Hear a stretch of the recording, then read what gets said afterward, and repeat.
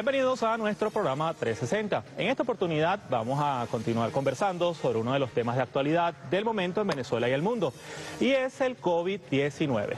¿Qué nos se ha dicho sobre el COVID-19? ¿Qué nos se ha dicho de cómo afecta a la parte social, la parte económica, la parte de la vida, no solamente en Venezuela, sino en las principales capitales del mundo? Pues bien, hoy seguiremos hablando del COVID-19, pero su impacto en el mundo de la cultura no la cultura de cualquier país, sino la cultura de Venezuela. Es por esto que tenemos como invitado especial en nuestro programa 360 a Roberto Mesuti, de la Casa del Artista, constituyente y también un fiero activista político en defensa de la revolución. Bienvenido, Roberto. Muchas gracias, Boris. Muchísimas gracias a todos los usuarios y usuarias que a esta hora están viendo tu prestigioso programa 360. Bueno, nos ha tocado vivir eh, una experiencia, yo creo, como decía hace años, un programa que hacía Robinson, La Gran Aventura, única e irrepetible. Una experiencia que evidentemente ningún país ni nadie estaba preparado para vivir. La pandemia.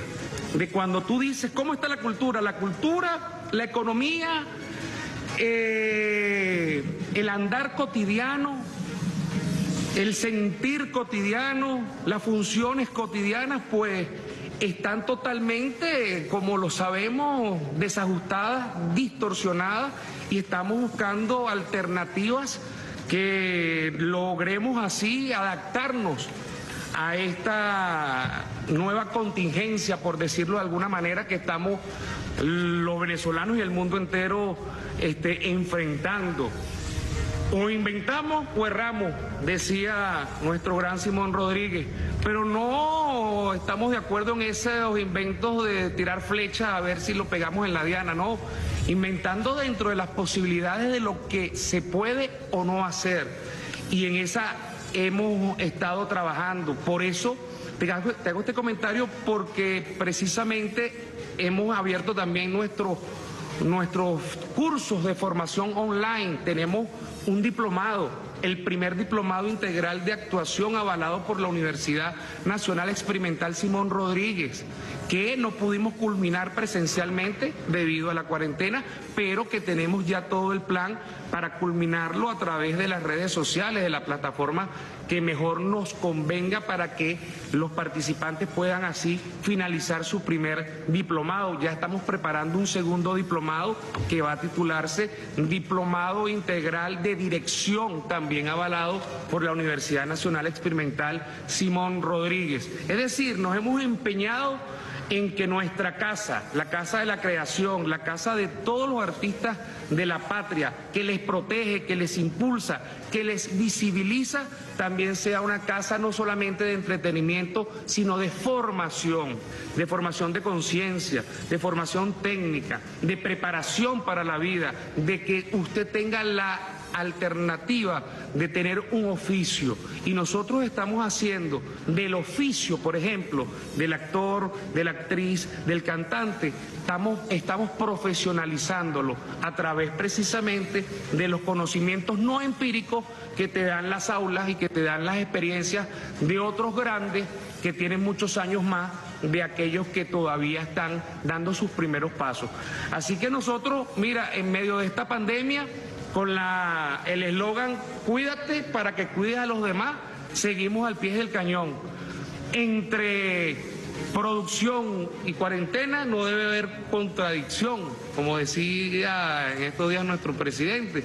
Y nosotros seguimos produciendo protección al pueblo creador, seguimos produciendo alternativas de entretenimiento para la familia que en sus casas este, conscientemente siguen atendiendo el llamado a nuestro gobierno a mantenerse en casa, que es la mejor opción por ahora en contra del COVID-19 y seguimos generando alternativas que nos permitan este, el trabajo de las ideas. ¿A qué me refiero? Por ahí viene la reactivación también de nuestros encuentros chavistas, que fue una iniciativa que tomamos hace tres años en esta nueva gestión como herramienta de formación para todos los trabajadores y trabajadoras de nuestra fundación.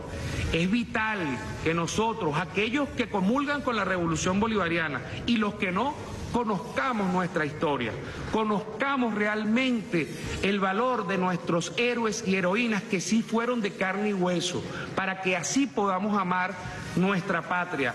Quien no conoce su historia está condenado a repetirla y para tú defender a tu patria debes estar enamorado de ella y para estar enamorado de tu patria debes conocer tu historia. De ahí que nosotros, como constituyente, ahora te hablo, hayamos mm, introducido en la Asamblea Nacional Constituyente a la directiva un proyecto donde sugerimos no porque así lo creemos, sino luego de un estudio científico, exhaustivo, serio, nosotros estamos proponiendo la reestructuración del ente rector de cultura para que esté ajustado al tiempo histórico que demanda la patria. Nosotros tenemos hoy por hoy 27 entes de cultura, yo no sé si tú lo sabías, mi querido Boris Castellano, 27 entes de cultura que se solapan las funciones unos con otros. Y en esa propuesta nosotros explicamos cómo podríamos tener un ente rector de cultura realmente eficiente, eficaz y sobre todo con trabajadores y trabajadoras comprometidos. ¿En qué estamos fallando entonces? nada menos que con Cuando dices que, que, las funciones están solapadas, eh, ¿a qué te refieres específicamente? ¿En qué están fallando? ¿Qué no están haciendo? Bueno, mira, de pronto encontramos que tenemos como que muchas editoriales, digo yo. Nosotros tenemos Librerías del Sur, tenemos El Perro y la Rana, tenemos dos, tres más, tenemos la Imprenta Nacional. Eh, cuando vemos el número de imprentas con la producción no se compensa, entonces yo de pronto podría decirte que teniendo una sola podríamos reunirlas a todas bajo una sola gerencia para que eso sea más eficaz y eficiente.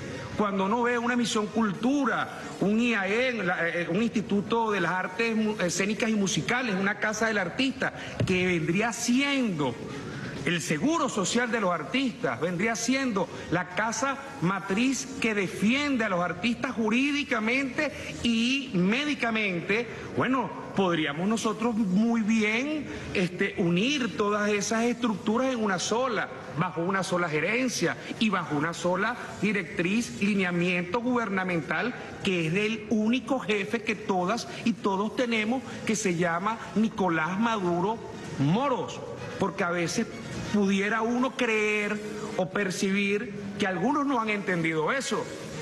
Cuando el presidente llama al rescate de la identidad cultural, llama precisamente, mi querido Boris Castellanos, a entender que nosotros tenemos que ideologizar con la verdad.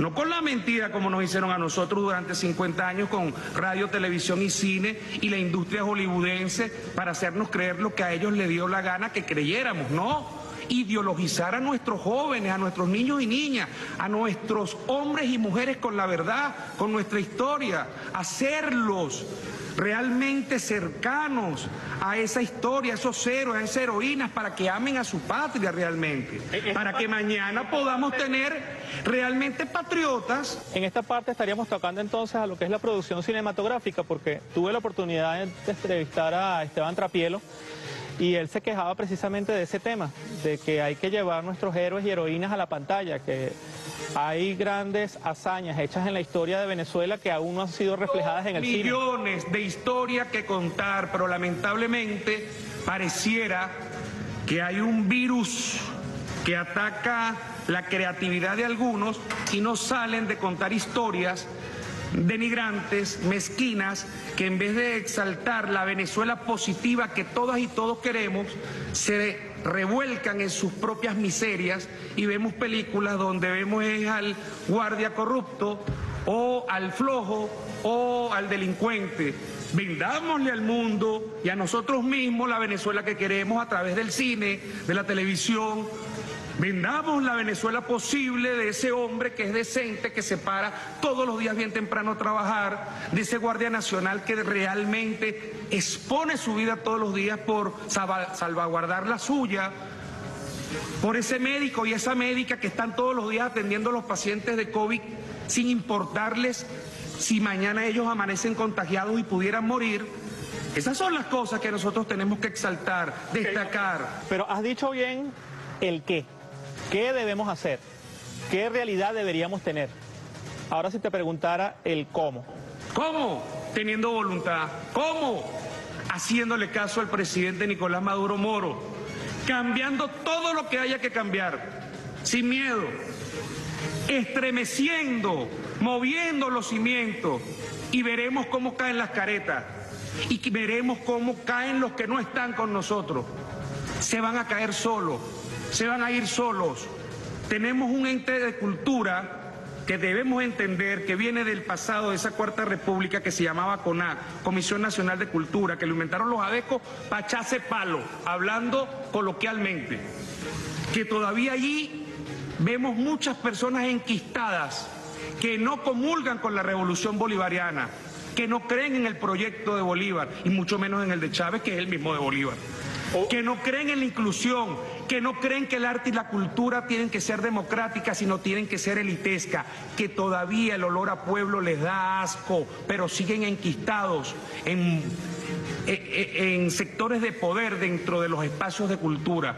Si de verdad queremos independizar nuestra cultura, hacerla accesible, cercana, hacerla del colectivo. Tenemos que nosotros realmente independizarla y como dice el presidente de la Asamblea Nacional, de la Asamblea Nacional Constituyente, Diosdado Cabello Rondón, que aprovecho de mandarle su pronta recuperación, pues tenemos nosotros que depurar nuestras instituciones y trabajar con iguales. Yo no estoy diciendo que no le demos la oportunidad de trabajo a aquellos que piensan distinto a nosotros. Todos y todas tienen derecho al trabajo. Pero esos puestos fundamentales de mando, de decisiones, tienen que estar los que están comprometidos con un proyecto, con un proceso, con una nueva Venezuela distinta, incluyente, donde todas y todos nos veamos a los ojos, no por encima del hombro, donde el que no tiene los recursos del que vive en el country club también pueda apreciar un cuadro de un Van Gogh que podamos nosotros estar exhibiendo mañana en el Museo de Bellas Artes, por ejemplo. Pero para eso debemos tener, te repito, la voluntad de cambiar todo lo que haya que cambiar. Estas críticas que tú estás haciendo de la producción cinematográfica en Venezuela, ¿cómo no, que...?